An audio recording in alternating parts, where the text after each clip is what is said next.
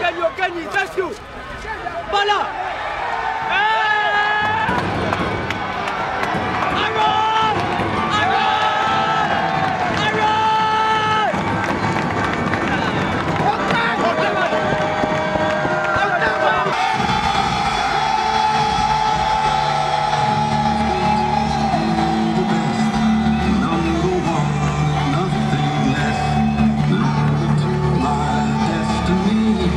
next is, uh, first of all, to party tonight.